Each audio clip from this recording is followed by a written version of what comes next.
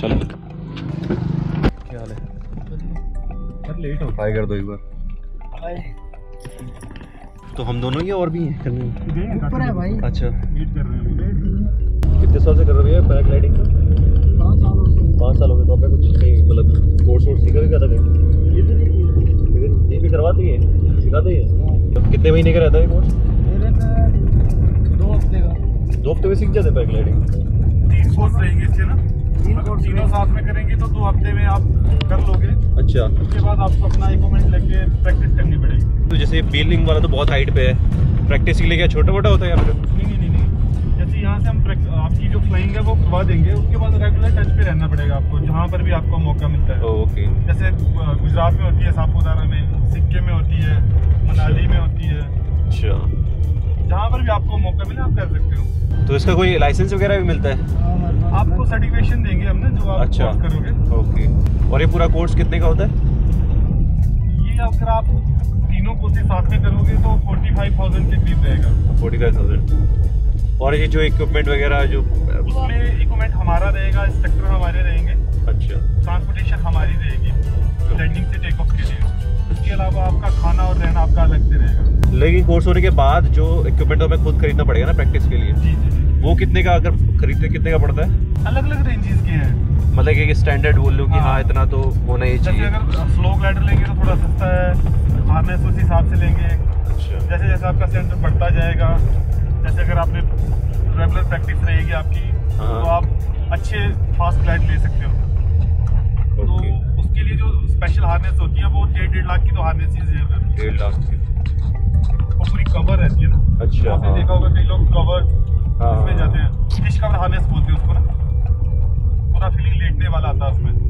First time कर रहे हो आप? मैं पहले कर चुका हूँ। मैंने करा था भीमताल। तीन साल। पहले होती थी शायद मेरे ख्याल से बंद हो गई वहाँ तो।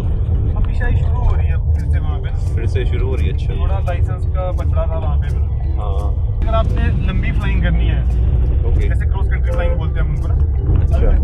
कंडीशन अच्छी हो तो आप पालमपुर धर्मशाला के लिए फ्लाइंग कर सकते हो यहाँ से ओह, अच्छा वो जो बता रहे थे एक एक घंटे की फ़्लाइट हाँ। अच्छा वो तो बहुत उसके लिए ढाई तीन तीन घंटे लगते हैं जो धर्मशाला वाली है ना। अच्छा।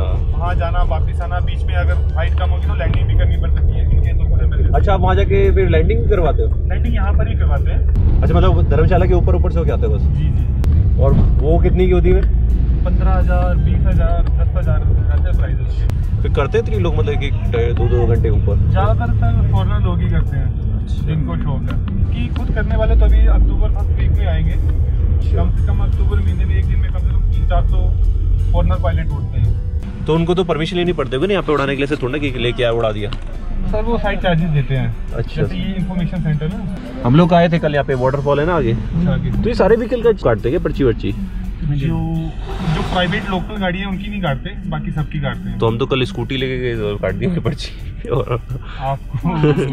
टूरिस्ट देखा ना तो हाँ हो सकता है। साडा लगा हुआ स्पेशल एरिया डेवलपमेंट अथॉरिटी वाले ना। अच्छा ओके तो वो चार्ज लेते हैं। अच्छा मेंटेनेंस वगैरह रोड वगैरह का?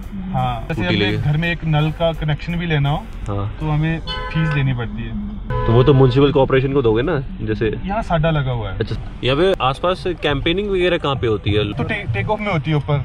जहाँ पे हम लोग जा रहे हैं। हाँ अच्छा। और नीचे लैंडिंग के अराउंड भी है। लैंडिंग से आगे एक क्योरी गाँव है। वहाँ पर स्विस कैंप लगे हुए हैं। और वो दूसरे वाले जो नॉर्मल टेंट्स हैं वो भी लगे हुए हैं जंगल के बीच में लगे हुए हैं। यहाँ पे मेन पीक सीज़न पैराग्लाइडिंग का कब हो रहता है? गर्मियों में जब छुट्टियाँ होती हैं। अच्छा वो जून मई जून वाला।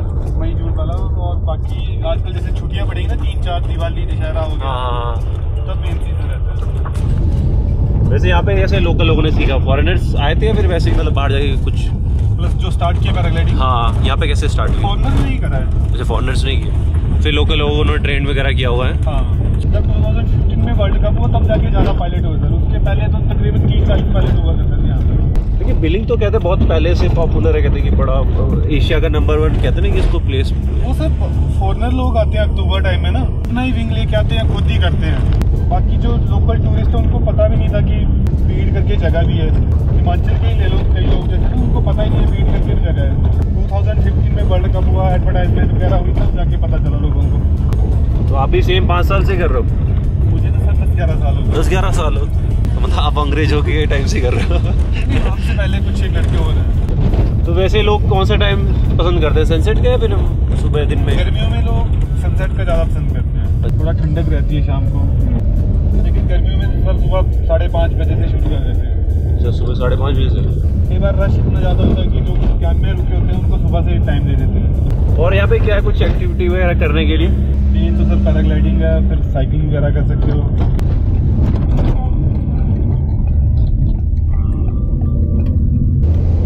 तो आप कंपटीशन वगैरह में जाते हो यहाँ से लोग कुछ ऐसे पैराग्लाइडिंग ही वगैरह?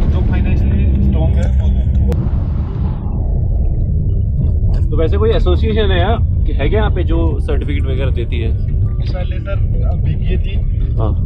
पैराग्लाइडिंग सर भी गए सर। पहुँच गए। लगाना पड़ूँगा इसकी हम्म।